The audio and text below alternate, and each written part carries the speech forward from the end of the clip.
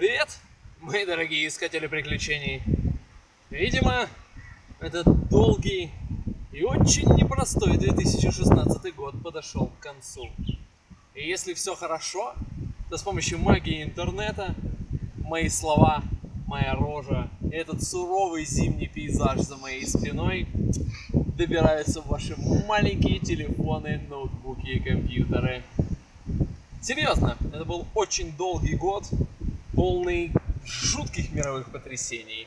Страны откалываются друг от друга, меняются режимы, меняются системы, э, всевозможные протесты, падения, экономические перетрубации. Чего мы только вместе с вами не пережили за все эти годы, а?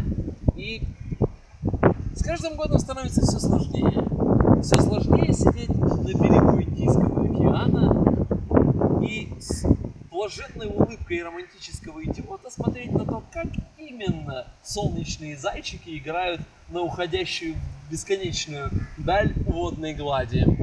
Очень непросто, очень непросто, друзья, с каждым годом. Поэтому в уходящем жутком, полном странных историй и бесконечных дорог 2016 хотелось бы пожелать вам мгновение покоя, место, где можно просто поставить свои тяжелые ботинки в угол, сплюнуть, выпить холодной воды и сказать «Черт, это была хорошая дорога!» А если получится, то и разделить дорожные истории с отличной компанией. В этом и всех следующих годах. Увидимся в 2017.